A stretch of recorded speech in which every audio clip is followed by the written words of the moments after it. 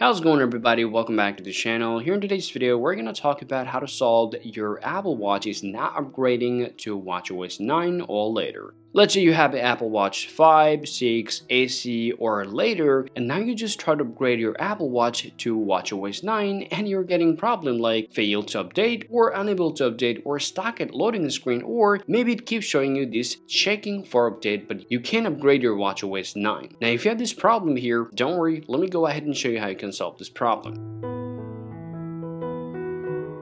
Now before I tell you how you can solve the problem, keep in mind your problem can happen either for internet, battery, and storage, and sometimes can happen for software bug. Now if to solve the problem, the very first thing that I'm going to talk about is your internet. Now, if you found that your internet is not working on your iOS device or on your Apple Watch, then this problem can happen. So first thing that you want to do here, simply go ahead and open up your settings on your watch. Now you got to check out this option called Wi-Fi. Just go ahead and tap on there. Make sure that your Wi-Fi Wi-Fi is connected to your Apple Watch and your Wi-Fi network is stable. So all you can do, you can just grab your phone and now you can connect to the same Wi-Fi network and you can open up a browser and simply type fast.com. Well, tap on go here. Now this is going to show you whether you have a stable internet connection or not. So if you see it's loading or it's not loading here, that means you have a problem with your internet.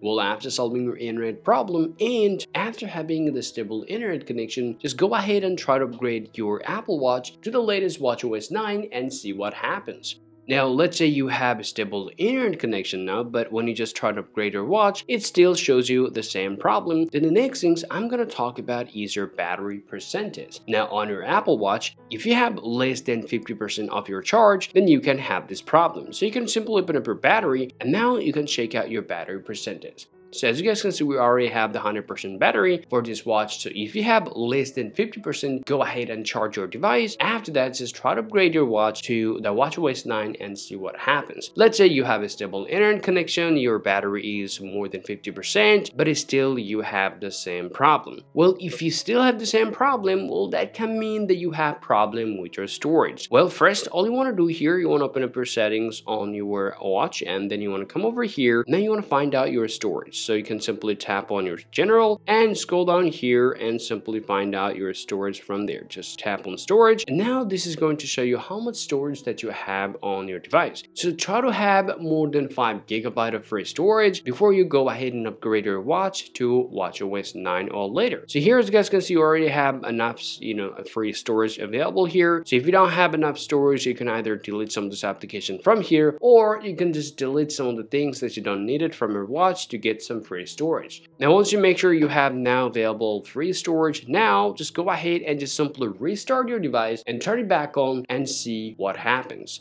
Alright guys, now after doing this work, a lot of people actually solve their problem from here. Now for some reason, if you're still stuck on checking for update or if your update is keep getting paused, then we highly recommend you to just grab your iPhone to upgrade your Apple Watch. Now on your iPhone, all you want to do here, just simply go ahead and open up your watch application here. So let's go ahead and open up watch application there. And now scroll down here, tap on general, tap on software update. Now, while you're checking for update for your WatchOS, now make sure that you also have enough charge on your iPhone as well. After that, well, this is to take a while to upgrade your device, so let's go ahead and wait about this time and come back later. Alright, after 10 minutes later, so here as you guys can see, we got another problem. It says, unable to verify update, the WatchOS update couldn't be verified because you're not connected to the internet. So if you just take a look at here, I'm actually connected to my internet here. Okay, now if you have the same problem just like me, don't worry, just go ahead and just grab your watch at the same time here. Now you have to just retry it again. Just scroll down here, just download and install, and you have to wait one more time.